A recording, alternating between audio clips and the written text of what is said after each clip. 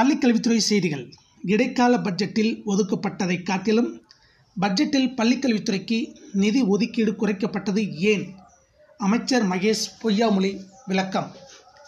August பத்தொன்பது நடப்பு பட்ஜெட்டில் பள்ளிக்கல்வித்துறைக்கு நிதி ஒதுக்கீடு குறைக்கப்பட்டது ஏன் என்பது தொடர்பாக அமைச்சர் மகேஷ் பொய்யாமொழி விளக்கம் அளித்துள்ளார் சட்டப்பேரவையில் நிதித்துறை மற்றும் வேளாண்மைத்துறை பட்ஜெட் மீதான விவாதத்தில் பெண்ணாகரம் தொகுதி ஜி கே மணி பாட்டாளி இந்திய அளவில் கொரோனா தொற்றை கட்டுப்படுத்துவது சிகிச்சை முறை அளிப்பது உயிரிழப்பை தடுக்க நடவடிக்கை எடுத்த முதல்வர்களின் பட்டியலில் தமிழக முதல்வர் மு க ஸ்டாலினுக்கு முதல் இடம்.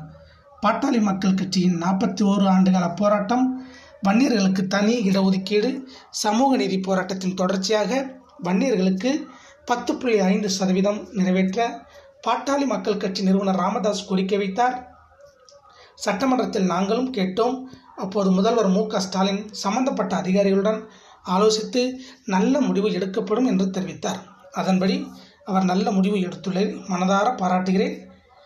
கேரளா ஆந்திராவை போன்று எல்லா சமூக மக்களுக்கும் உரிய இடஒதுக்கீடு வழங்க வேண்டும். தொகுப்பு இடஒதுக்கீடாக இருக்க வேண்டும் என்று முதல்வரை கேட்டுக்கொள்கிறேன். நூறு நாட்களில் வரவு செலவு திட்ட அறிக்கையில் பார்க்கும் நேரத்தில் நெருக்கடியான சூழல் தெரிகிறது. வருவாயை பெருக்க வழி இருக்கிறதா என்று பார்த்தால் மிகப்பெரிய கேள்விதான். வரி வருவாய் வசூலிக்க மாநிலங்களின் அதிகாரம் குறைக்கிறீர்கள்.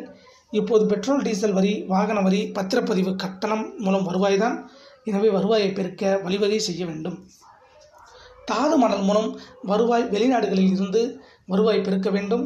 அறுபத்தொன்பது பொதுத்துறை நிறுவனங்களில் நிர்வாக சீர்திருத்தம் செய்வதன் மூலம் லாபமடைய வழிவகுக்கும்.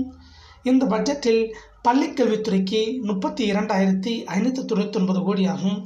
இடைக்கால பட்ஜெட்டில் முப்பத்தி நாலாயிரத்தி நூற்றி அறுபத்தோரு கோடியாகும். இடைக்கால பட்ஜெட்டை விட நிதி குறைக்கப்பட்டுள்ளது. பள்ளிக்கல்வித்துறை அமைச்சர் மகேஷ் பொய்யாமொழி இந்த பட்ஜெட் என்பது ஆறு மாத காலத்துக்குத்தான் அகவிலைப்படி அடுத்த ஆண்டுக்கு ஒத்திவைத்துள்ளோம். எனவே அந்த தொகை மட்டும் ரூபாய் மூவாயிரம் கோடி வரும். அதை சேர்த்தாலே முப்பத்தைந்தாயிரம் கோடி வரும். இன்னும் இரண்டு ஆண்டுகளில் எவ்வளவு நிதி ஒதுக்குகிறேன் பாருங்கள் என்று நிதித்துறை அமைச்சர் பிடிஆர் கூறியுள்ளார். அரசு பள்ளிகள் என்பது வறுமையின் அடையாளம் அல்ல பெருமையின் அடையாளம். அரசு பள்ளிகள் நவீன மாடல் பள்ளிகளாக மாற்றப்படும் என்று தெரிவித்துள்ளார்.